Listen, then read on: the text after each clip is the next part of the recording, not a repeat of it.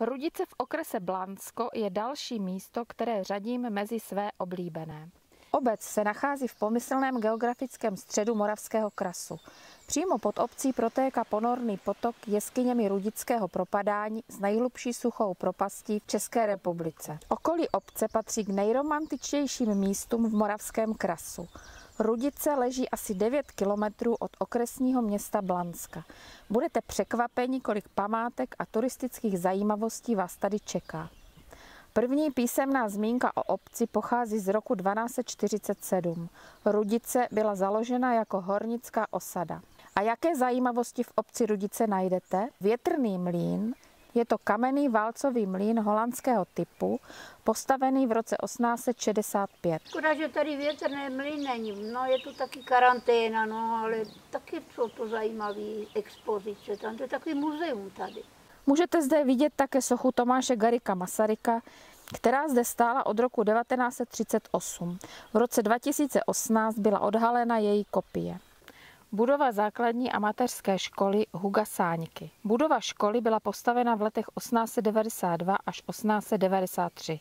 Vedle kaple svatého Antonína zde můžete vidět také kapli svaté Barbory. Je to nová kaple vybudovaná v roce 2002. Salmův kříž u lesního hřbitova je to litinový kříž pocházející z roku 1822. Podíváme se také na Matuškův mlín. Původní Matuškův mlín. Manžel to všechno jako opravil, aby se tady dalo i bydlet. I studnu kopal, tady nebyla voda.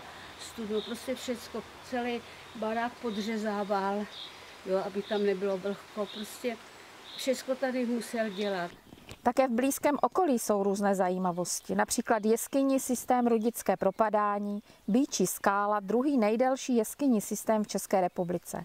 Skály Kolíbky jsou vápencový krasový útvar v bezprostřední blízkosti Rudického propadání, kde je významné archeologické naleziště. Za mnou vidíte nádherné panorama bývalého lomu Seč v Rudicích. Lom Seč v malebné obci Rudice se v posledních letech stal doslova instagramovým hitem. Bývalý kaolinový důl celoročně láká na nádhernou přírodní scenérii plnou rozmanitých barev.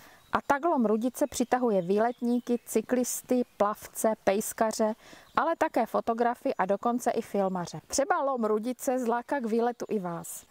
Základem každého prima výletu jsou nejen nachozené kilometry v nohách, ale také spokojený žaludek. I v okolí Rudice se můžete osvěžit vychlazeným pivem nebo se odměnit dobrou kávičkou. A kde se nejlépe najíst, když budete v Rudici? Naleznete zde dvě hospůdky, kde si můžete dát něco na zub. Hospůdka u kovárny a tumperek.